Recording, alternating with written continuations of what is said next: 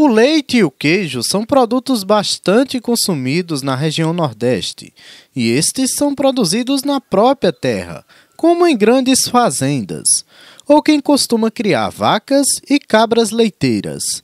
Porém, é preciso tomar muito cuidado com estes produtos em relação às doenças.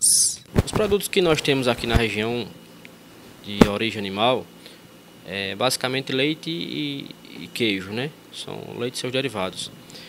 É, a qualidade do leite ela, ela é está diretamente ligada à saúde do animal e à sua nutrição também. Então, a fêmeas que produzem leite e apresentam alguma enfermidade na glândula mamária, no úbere, é, notadamente ela vai apresentar uma qualidade do leite inferior. Né? Então, cabras e vacas leiteiras, se tiver com a glândula mamária com mastite, esse leite deve ser descartado. Né? Então, essa é a orientação, é o correto e o que o produtor ele deve fazer. Né? É, obviamente, a gente sabe que nem todos cumprem é, essa orientação e acabam colocando leite de má qualidade para o consumidor ou fazendo queijo com esse leite de má qualidade também. Né?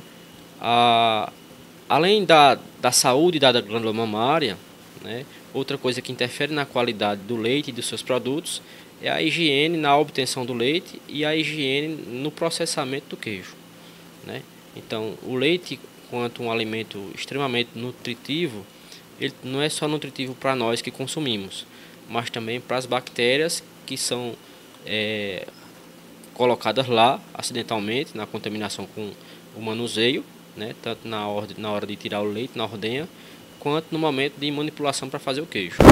Então, o produtor de leite e de queijo, ele tem que ter essa consciência, que ele está produzindo um alimento, que, que esse alimento ele pode também levar uma doença para quem está consumindo. Então, é, tanto a tuberculose como a brucelose na vaca, ela pode ser transmitida via leite e via queijo. Então o produtor ele tem que ter essa consciência, essa responsabilidade que ele está colocando o alimento na mesa do consumidor e que precisa ser um alimento seguro, tá? É, e na nutrição ela pode interferir no que no que diz respeito à composição do leite. Então, animais bem nutridos vai produzir um leite bom, um leite que tem um percentual de gordura bom, um percentual de proteína bom, um leite que ele vai ter um maior tempo de prateleira, tá certo? Um leite e seus derivados. Tá? Então, o produtor ele tem que estar atento a isso, a saúde do seu rebanho e a boa nutrição do seu rebanho para que o que ele produza seja um produto de qualidade e seguro quanto à questão das doenças.